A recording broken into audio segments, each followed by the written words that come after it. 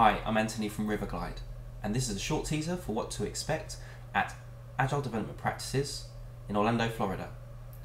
On November the 8th, we'll be running a one day tutorial called Sustainable Acceptance Test Driven Development or Behavior Driven Development with Cucumber.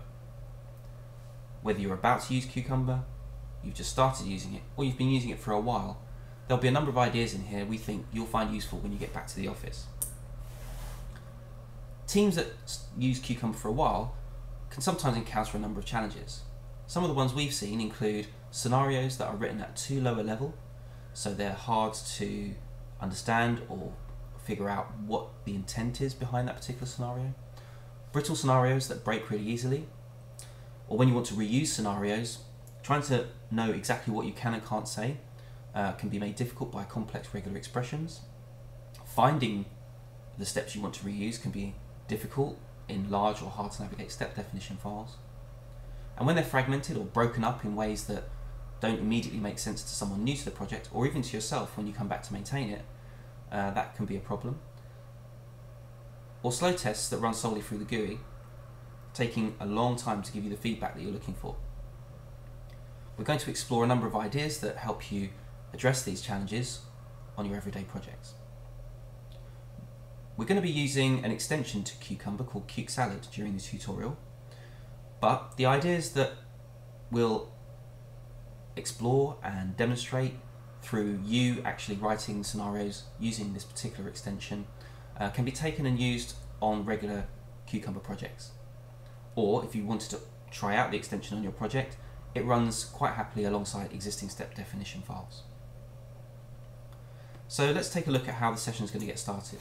We're going to give you a USB key with uh, VirtualBox installers for whichever your preferred operating system is, and a virtual machine that once you've installed VirtualBox, you can start up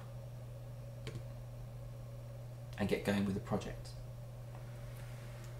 Now, if you don't want to use the virtual machine and you have your own Ruby 192 development environment on your laptop, then that's fine, you can use that. There are a couple of GitHub repositories that you might want to clone in order to help you get started as quickly as everyone else, but you don't have to if you don't want to.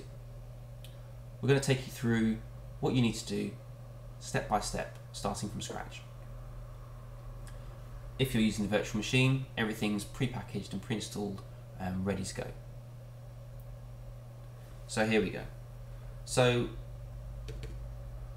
we've got uh, some examples on here already. During the tutorial, we're going to implement a very basic web-based calculator. There's only so much we can achieve in a day. We're going to see how far you guys can get. There's some reference material you can refer to. We've got some examples for a web-based calculator already implemented and already working for you. And if you want to see that your environment's working okay, um, once you have your virtual machine up and running, uh, we can just make sure that the web-based calculator we've implemented works correctly. Now this is actually running the acceptance test once through the application behind the GUI, and then it's running it again going via a web browser front end. It's using exactly the same scenarios, exactly the same step definitions or the equivalent, um, and there's just a, a, subtle change to the support code behind the scenes that uh, it uses to either test below the GUI or test through the GUI. We're going to show you how to achieve that. There you go, everything's working. Let's take a look at one of the early examples that we might start working with. So you're going to be working on your calculator in this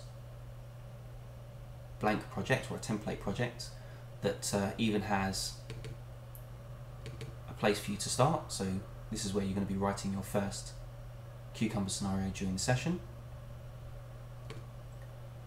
And uh, if we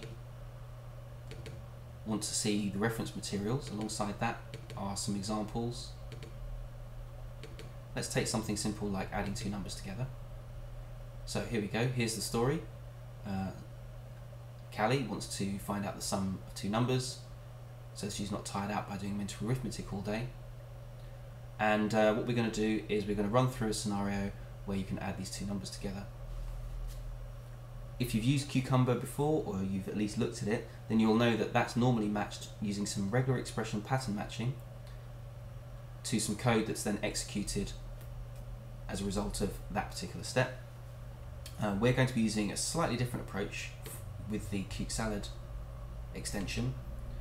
So instead of step definitions, we have tasks, and we're going to show you um, how easy it is to work with these. But you can take the same ideas and the same lessons of how these are organised and apply them to any Cucumber project. Let's take addition as an example. So this is the equivalent of a step definition. This is Ruby code that's executed against the application. And we're going to show you how to make it really easy to have your step definitions or your tasks, as we like to call them, uh, reading just as easily as this. That's just a brief intro. We look forward to seeing you in Orlando at Agile Development Practices on Tuesday, the 8th of November. See you in Orlando.